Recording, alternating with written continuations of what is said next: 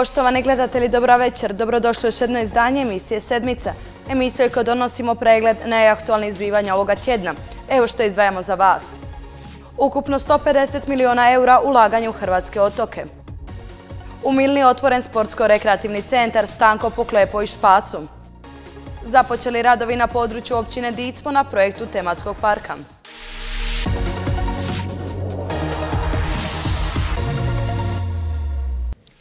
Na Kemijsko-tehnološkom fakultetu održano je predstavljanje poziva za sudjelovanje otočnih županija u provedbi integriranog teritorijalnog programa na otocima. Održano je predstavljanje poziva za sudjelovanje otočnih županija u provedbi integriranog teritorijalnog programa na otocima. Dodatno je dodijeljen i dio nacionalnih sredstava za projekte na otocima iz programa razvoja otoka. Po prvi puta se događa da se iz EU fondova alociraju sredstva za otoke i to ukupnoj vrijednosti od 150 milijuna eura. 70 projekata je danas sa 70 otočnih projekata, otočnih općina su dobivena sredstva u iznosu 4,3 milijuna eura i to je povećanje programa iz kojeg dobivaju ta sredstva za duplo u odnosu na prethodne godine koliko smo davali sredstava iz tog programa iz razloga što su i potrebe otočana sada veće i što kontinuirano skrbimo i vodimo brigu o otocima i nastojimo kroz ovaj program koji se pokazao vrlo popularan povećati e, sredstva i e, povećati izdvajanja za otočne projekte. Tu će se realizirati u ovoj godini cijeli niz projekata u šest obalno otočnih županija koji su od vitalnog životnog interesa za otočane, od ulaganja u društvenu infrastrukturu, domove kulture, škole, različite kuće kulture, knjižnice i tako dalje i tako dalje. Dakle, sve ono što je neophodno i bitno za život otočana. Drugi dio je bio najava, dakle, sredstava iz europskih fondova koja po prvi puta na ovaj način dodjeljujemo za otoke i koja dolaze povrh svih ostalih mogućnosti za ulaganje u otoke koje oni imaju kao i do sada, a to je novih 150 milijuna eura iz programa europskih fondova koje smo raspodijelili po županijama i sedam, dakle, otočno obalnih e, županija u Republici Hrvatskoj i temeljem kojega će se e, vršiti financiranje projekata iz europskih fondova do 2027. godine. Javni poziv trebao bi biti raspisan kroz koji dan, te će rok za prijavu biti tri mjeseca, ističe župan Splitsko-Dalmatinske županije Blaženko Boban. Splitsko-Dalmatinska županija samo za otočke općine će imati gotovo 36 milijuna eura. Čuli ste da strategiju jedina županija u Hrvatskoj priobalna koja je do sad izradila je Splitsko-Dalmatinska županija. Sami tim smo u velikoj prednosti očekujući javne pozive iz novog operativnog programa koji će vrlo skoro uslijediti. E, sve naše lokalne zajednice su spremne s projektima jer smo to sve skupa u proteklih tri mjeseca jako dobro koordinirali s njima. Segment zdravstva je tu i segment lokalne infrastrukture i segment E, školstva i obrazovanja, gotovo svi segmenti u novom operativnom programu su u paketu ovih gotovo 36 milijuna eura samo za otoke s područja Srednjo-Dalmatinske, odnosno Splitsko-Dalmatinske županije. Na svečanom uručenju ugovora bili su prisutni predstavnici županija, gradova i općina iz sedam hrvatskih otočnih županija. Zahvaljujući Ministarstvu regionalnog razvoja i Fonda Europske unije i zapravo vladi, danas je veliki dan za grad Mali Lošinj. Dobili smo evo sufinanciranje sedam projekata u iznosu od gotovo pa pola milijuna eura na sedam nastanjenih otoka Credsko-Lošinskog arhipelaga, dakle društveni dom u Beleju, rekonstrukcija dječjeg vrtića e, na Lošinju, u Velom Lošinju, e, zatim uređenje spjaža na otoku Sunsku i uređenje biciklističko-pješačkih staza na otoku Iloviku, Unijama, Velom, Velim Strakanama i malim strakanama. Iznimna, e, e, iznimno postignuće, evo veselimo se realizacije ovih projekata. Evo, lani nakon što smo prijavili uređenje e, dječjeg igrališta u dječjem vrtiću i dobili maksimalnih 600 tisuća kuna, ove godine smo uredili, prijavili jedan parterno uređenje studenca i rudine. To je jedan javni prostor koji mješan inače koriste, samo evo sada je inače uređeniji nego što je bio i dobili smo 67 tisuća eura za to uređenje, a do kraja godine možda očekujemo i e, još sredstava jer eto i tako i lani bilo e, kad drugi ne iskoriste sva sredstva onda se to alocira na ove projekte koji su e, prilično završeni ili dovršeni te godine. Produktivnim investicijama omogućava se opći rast i razvoj. Ulaganjem u otoke ističe se razvojna perspektiva te mogućnosti novih radnih mjesta.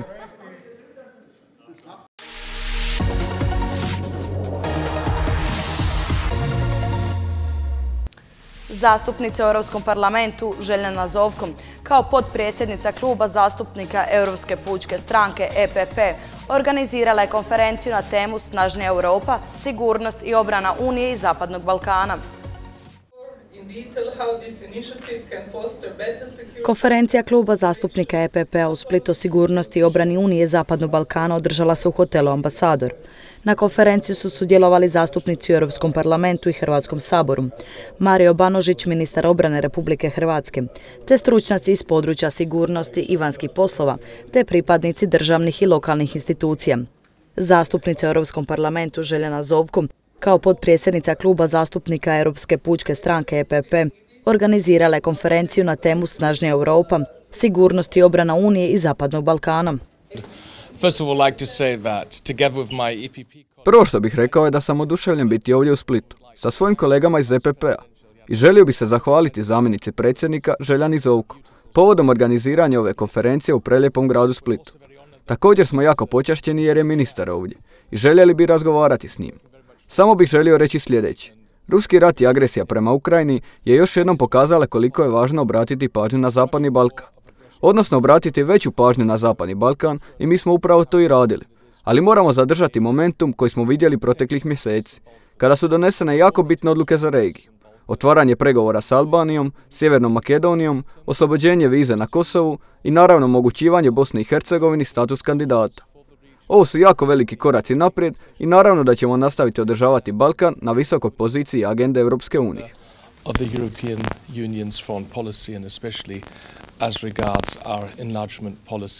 Splitsko-dalmatinski župan istaknuo kako je Hrvatska među najsigurnijim unutar Europske unije, pa i šire. E, situacija takva da je sigurnost svakom čovjeku, a poglavito onome koji putuje, koji je turist, iznimno bitna. Zbog toga mi je to posebno zadovoljstvo da se ta konferencija, zahvaljujući Željeni Zovko, a gdje, je bilo nazočno niz respektabilnih ljudi koji se bave pitanjem sigurnosti na područjima svojih, svojih e, država, e, prisutno bilo na ovoj konferenciji uz četiri naša evropska zastupnika, kad govorim naša, mislim na EPP, e, bilo je nazočno još pet, mislim, europarlamentaraca kojima je primarni segment sigurnost na određenim područjima.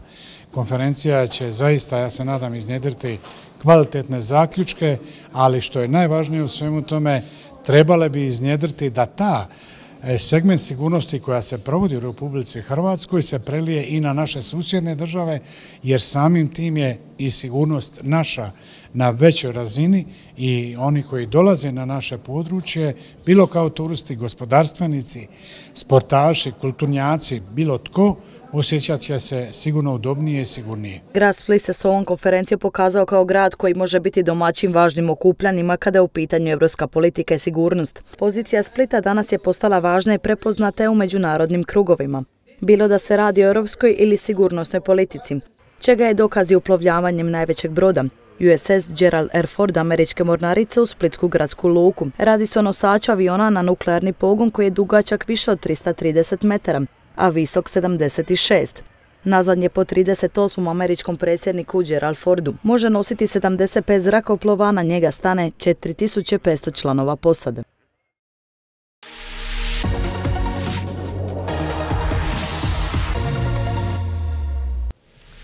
U Milni je otvoren sportsko-rekreativni centar Stanko Poklepović Špacom.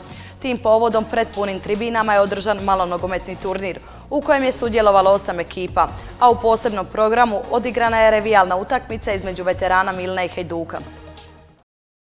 Stanko Poklepović, poznatiji kao Špac, rođen je u Milni 1938. godine, a sada 85 godina poslije, a nešto manje od 5 godina nakon njegove smrti, u njegovoj Milni otvoren je sportsko-rekreativni centar koji nosi njegovo ime. Stanko Poklepović, Špac. Ovo je doista jedan veliki dan za sve Milnarake, Milnarane, jer ovo je nešto što smo počeli graditi još 2018. godine, a 2022. konkretno krenuli u realizaciju uređenja kompletnog sportsko-rekreacijskog centra. I naravno da ono što je nama svima bilo zasmetalo, da se, ovo je nekada bila vojarna, odnosno kasarna, i naziva Bregana. Ono što je svima zasmetalo je to ime. Idemo pronaći osobu koja je vrijena i dostojna e, da se, da se taj sportsko-rekreacijski centar imenuje. I naravno, tko tu može biti nego, nego naš Paco. Na otvaranje je stigla i obitelj Poklepović, koja je pozdravljena posebnim pljeskom. A poklone u ime Hajduka u kojem je Špaco bio dugoročni trener i postao legenda kluba, predao mi je voditelj Hajdukove akademije Boro Primorac. A mislim drago mi biti ovdje jer proveo sam tri, četiri vrlo lijepe godine sa gospodinom Poklepovićem. Osvojili smo prvenstvo, imali smo, stalno smo bili u Europi, imali smo dobru ekipu, imali smo dobre trenere i drago mi je da se u Milnima otvorio stadion na njegovo ime, upoznao sam u familiju, vrlo sam sretan biti ovdje. Paco je jedna osoba vrlo humana vrlo voli rad, volio svoj posao, familiju i drago mi je bilo rad sa njim i šta mogu reći. Sretan sam biti ovdje, a njemu pokoj duši, drago mi je da je familija mu dobro i sve najbolje. Šta? Povodom otvaranja organiziran je malonogometni turnir u kojem se natjecalo osam ekipa. Milna, Hajduk, Futsal Ikone, Vole Gradele, Fortuna Povlja, Podstrana, Sea Wolf i Cafe Bar Vox a prvi udarac centra kojim je započeo turnir izvoje Špacin sin Damir Poklepović. Prvi memorialni turnir u ime Poklepovića Stanka Špace u njegovom mistu na otoku Braću, Milni. E, prvi, prvi, mislim ne i zadnji, nadam se da će u budućnosti biti ovoga više, da će biti interesantnije, da će doći e, drugih momčadi. Malo sam emotivan, pa možda to sve skupa zvuči ovako, neću reći konfuzno, ali ovaj, e, jako mi je drago da se ovo događa. Tu je blizu groblje, gleda nas iz nekog oblaka i nadam se da je zadovoljan i sretan i ovaj, nek se ljudi dobro zabave i neka ovo preraste u tradiciju i neka bude u budućnosti. Unatoč jako visokim temperaturama, pune tribine novo otvorenog centra mogle su uživati u vrhunskom nogometu koji se igrao. Kada se sunce spustilo i vruće popodne se pretvorilo u ugodnu večer, uvjeti i ambijent su bili savršeni a događaj su uveličali veterani Hajduka i Milne koji su odigrali revijalnu utakmicu.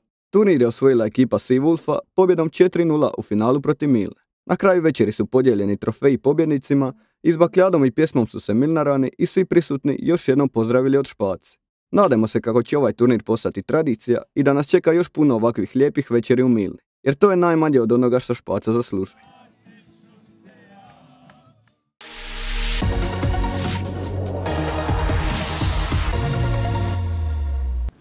U dvorcu turi u Kaštel Lukšiću održana je preskonferencija na kojoj je predstavljen program Kaštelanskog kulturnog ljeta. Očekuje nas više od 70 kulturnih događanja raznolikog programa. Kaštelansko kulturno ljeto samo što nije započelo. U dvorcu Vituri predstavljen je iznimno kvalitetan program sa više od 72 događaja, od kojih se čak neka od njih provode više dana. U ovom godišnjem raznolikom programu za kulturno kaštelansko ljeto za svakoga će se naći po nešto. Glazbeno-scenske izvedbe, folklor, zabavna i klasična glazba, predstave za djecu i za odrasle obilježit će ovo ljeto u Kaštelima.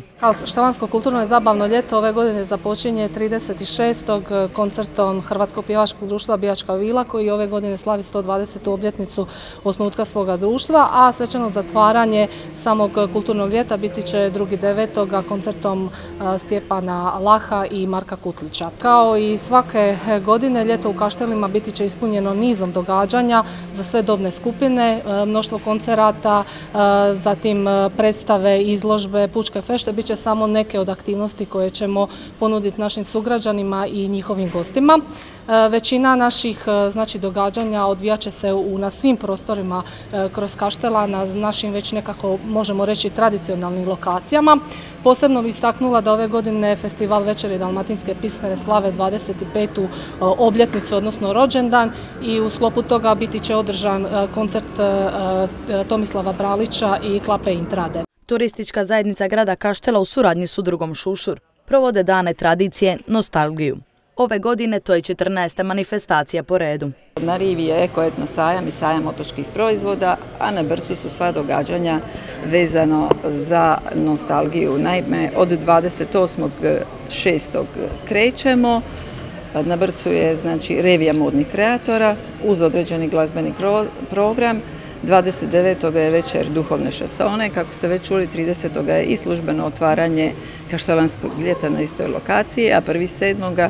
mi imamo večer folklora, odnosno to je zapravo županijska smotra folklora koja se država u Kaštar Novom na Brcu, a kroz cijelo to vrijeme na rivi su štandovi ekoetno sajma i sajma otočkinih proizvoda, s tim da je zadnji dan e, tog sajma e, gastro ponuda i etno program u organizaciji Srdele, znači pomorskog športskog kluba Srdela.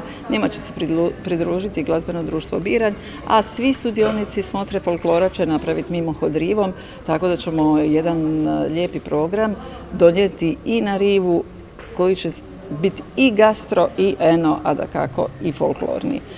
Koordinatorica projekta o i Dobrili Marijana Vulas otkrila nam je što očekivati za desetu obljetnicu ove turističke priče. Lijepi jubilej slavimo ove godine, dakle desetu godinu da se bavimo Miljenkom i Dobrilom kao e, turističkom pričom grada Kaštela.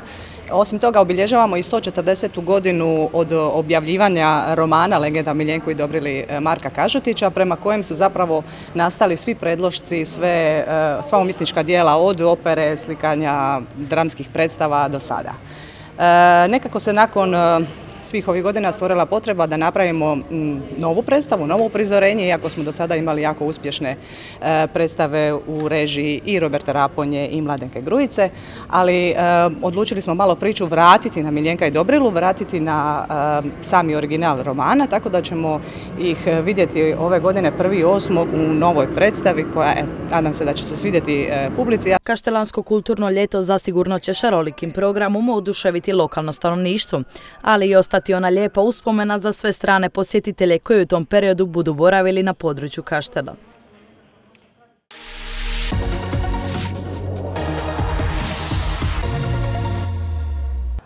Udruga Lanterna organizirala je pretraživanje i čišćenje podmora u Vinišću. Ove godine im se u akciju priključuje Hrvatski veterinarski institut s ciljem pronalaska novih jedinki i strogo zaštićene vrste plemenite periske. Protekle subote u Vinišću u organizaciji Športsko-ribolovno-ekološke udruge Lanterna održana akcija čišćenja podmorja. Akciji se odazvalo 50 kronioca iz različitih klubova i udruga.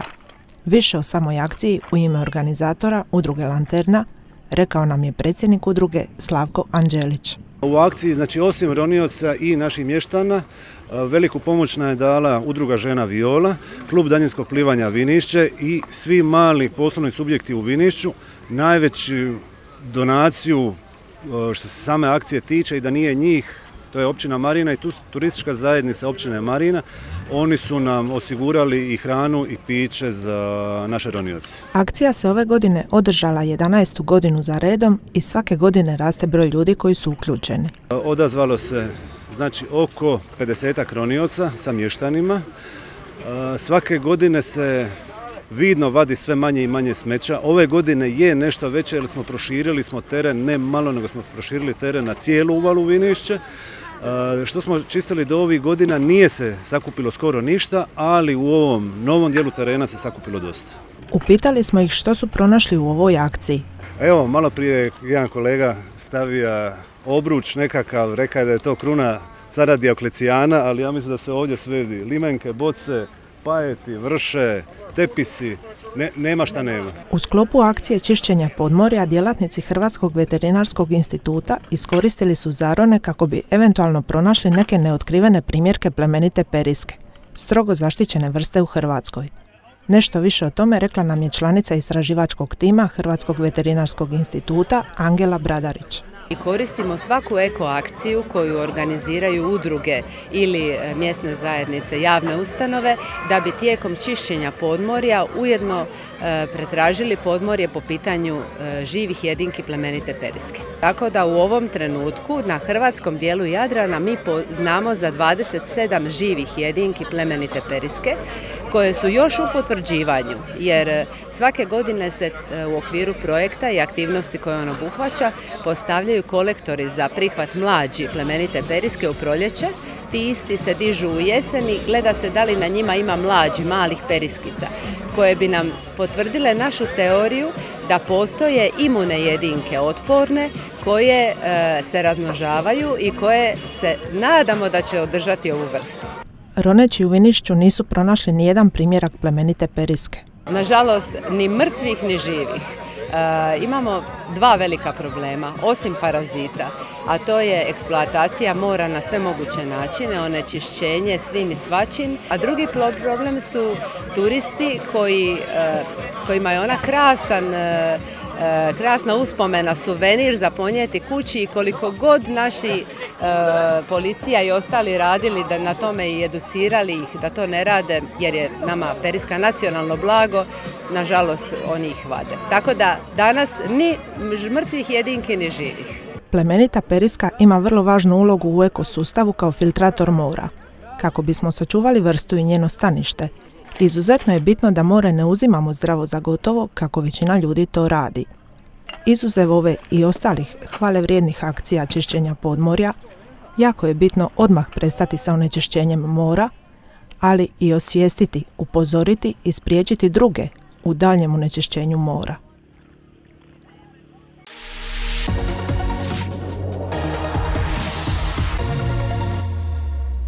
Svečani, ali zabavno sportski program obilježio ovogodišnju proslavu blagdana Svetog Ivana Krstitelja u okrugu Donjem. Detalji slijede. U okrugu Donjem obilježen je i proslavljen blagdan Svetog Ivana Krstitelja. Inače, ovaj blagdan slavi se već dugi niz stoljeća u okrugu Donjem gdje postoji crkva Svetog Ivana Krstitelja, sagrađena krajem 17. stoljeća.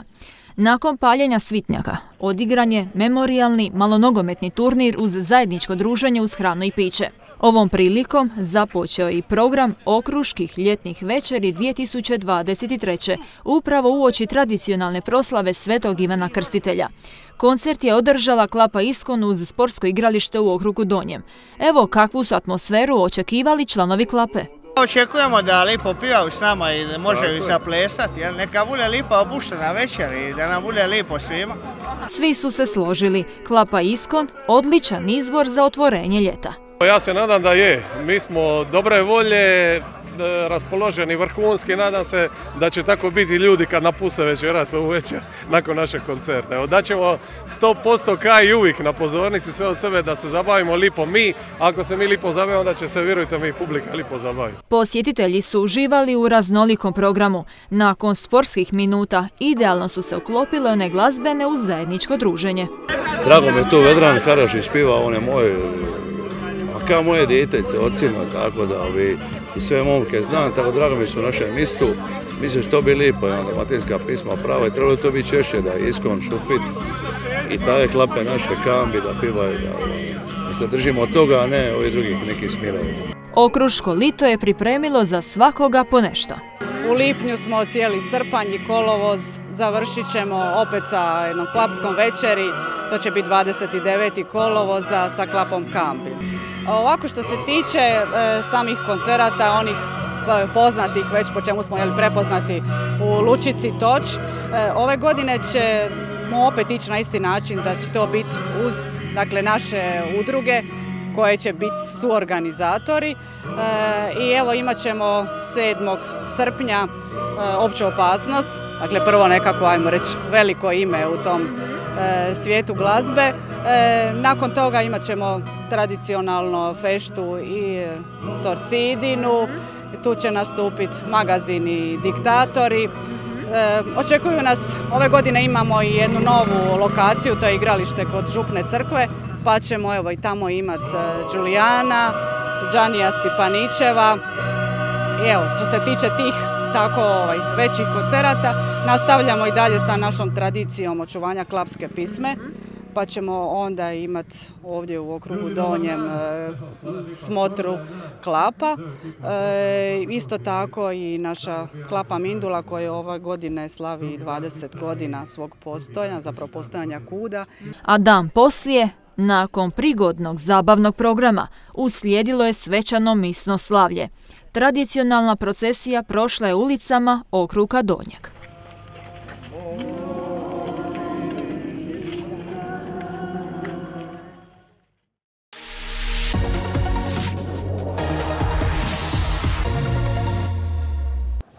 Započeli radovi na području općine Dicmo na projektu tematskog parka povijesnih puteva i železničke postaje RERA. Investitora općine Dicmo su financiranim sredstvima Europske unije i Republike Hrvatske iz programa ruralnog razvoja Republike Hrvatske mjere 19. Općina Dicmo uskoro će biti bogatija za jedan tematski park povijesnih putova željezničke postaje Rera. Radovi su započeli još prije nekoliko dana. Ovim projektom trebalo bi se dobiti dodatan sadržaj za turističku ponudu, te novu vizuru samoga Dicmo. Više o vrijednosti ovog projekta, a i samim detaljima otkrio nam je načelnik općine Dicmo, Petar Maretić. Vrijednost radova je negdje oko 120 tisuća eura, više od pola, znači nekih 70 tisuća eura sufinancira lag e, Zagora, e, ostatak e, mi kao općina financiramo. Ovim projektom ćemo dobiti dodatne sadržaje na turističkoj ponudi, ali na novoj vizuri Dicma, jer ovi stanovnici u okolici će dobiti jedan novi park gdje će moći doći sa djecom, ali gdje će i u budućnosti, evo ja se nadam da ćemo izvući što više eksponata, znači nekakvih vagona, tračnica, da i te mlađe generacije vide e, gdje je ferata prolazila, ali brojni turisti koje očekujemo, jer evo i Dicmo ima dosta kuća za odmor, pa znamo da ima dosta turista, tako da svi će oni imati dodatan sadržaj gdje će moći vidjeti e, kako je to nekad izgledalo i jedan od bitnijih ciljeva u sklopu parka nam je da ovu zgradu željezničke postaje Ferata konačno privedemo srce. Znači mi smo već niz godina i tražimo od Ministarstva državne imovine. Nadam se da smo pri kraju rješavanju tog problema i da ćete ubrzo doći i vidjeti taj novi projekt i novu vizuru uređenja te željezničke postaje Ferata. Pa na inicijativu općinskih zaposlenika i Laga Zagora, znači tu je danas nama i Marijana Rogoš, voditeljica Laga, znači one su te osobe koje zajedno sa našim e, zaposlenicima iznijeli ovaj projektat i s projektantima, tako da evo Dicmo će s ovim dobiti dodatni sadržaj. Radovi bi trebali biti završeni kroz četiri mjeseca, evo izvođač je rekao da će da svoj maksimum i da ćemo do kraja godine imati još jedan novi park u Dicmu. Lag Zagora želi omogućiti stanovništvu Dicma da svoj prostor i njegove prirodne i kulturne znamenitosti iskoristi na najbolji mogući način. Poveća i iskoristi profit koji može dobiti iz toga. Privuče ljude da se dosele i da ostanu na ovom području. A to se se može napraviti ovakvim projektima, ističe voditeljica akcijske grupe Zagora. Prostor na kojem trenutno jesmo je prostor okoliša E, željezničke postaje, znači napuštene željezničke postaje uskotračne pruge Rera koja je povezivala Split sa Sinjem. Izgrađena je početkom 20. stoljeća 1903. a ugašena je 60. godina prošlog stoljeća. Ovo nije jedini razlog zašto ovaj e, tematski park je vezan za povijesne putove. Ovom istom trasom na kojoj mi sa upravo stojimo prolazila je antička cesta iz dolabelinog sustava e, antičkih cesta koja je povezivala Salonu sa Sinskim ekumom i dalje unutrašnjošću Ilirika. Ovom istom cestom na kojoj sad stojimo nalazi se i hodočasnička staza Gospi Sinskoj. Znači svi hodočasnici iz priobalja koji idu na hodočašće Gospi Sinskoj u Sinj prolaze ovom istom stazom. I odmah s druge strane zapadnog dijela ovog zemljišta nalazi se državna cesta. Znači sve povijesne ceste koje su prolazile ovim područjem prolazile su upravo na ovom malom području koji će se sada urediti. Kako je zgrada, zgrada željezničke postaje u blizini, ujedno i kulturno dobro Republike Hrvatske, ona je jedna od tih pet sačuvanih koje su iz tog vremena izgrađene, ona će se u dogledno vrijeme projektom Županije uskoro, nadamo se da će to tako upravo biti, staviti u funkciju kao kulturno, kulturno dobro, interpretirat će se na neki način materijalna i nematerijalna baština Dalmatinskog zaleđa, a ovaj prostor uokolo koji će se urediti kao tematski, tematski park, da će dodatnu vrijednost cijelom tom prostoru. Do kraja godine općina Dicmo trebala bi biti bogatija za još jedan tematski park, koji je namijenjen djeci, lokalnom stanovništvu, ali i turističkim posjetiteljima.